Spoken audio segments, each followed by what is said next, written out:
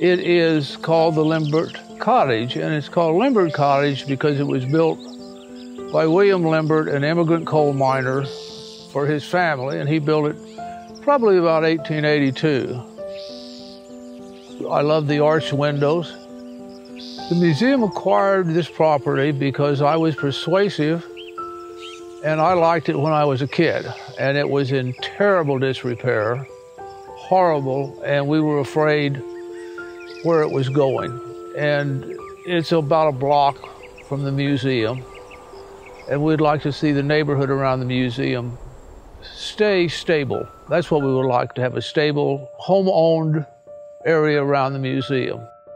I would like to see it become somebody's home again or artist studio, but I'd like to see it have a viable life in the 21st century.